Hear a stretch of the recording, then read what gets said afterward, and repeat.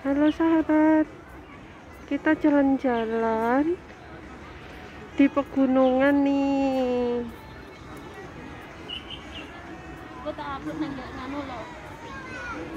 Untuk YouTube lah.